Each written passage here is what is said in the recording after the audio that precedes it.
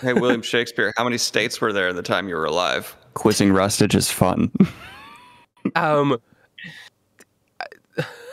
It's, it's, It's- don't don't listen to him. in in the Americas. Yes. Yeah, the Americas. Some stuff happens actually, and and we become our own country.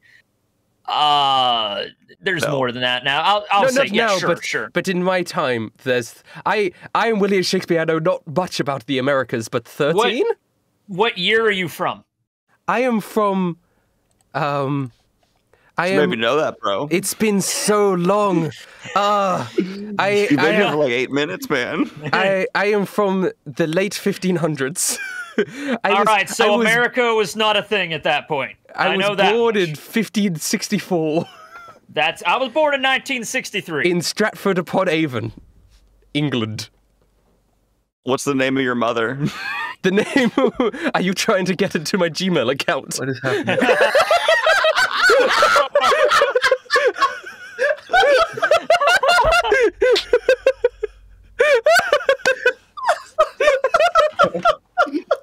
So this is okay, out of character. In the future, when you do this kind of shit, Rustage, you just need to have the Wikipedia page on standby or ready to go. Okay. I got it up now. You can ask any William Shakespeare question. We got it.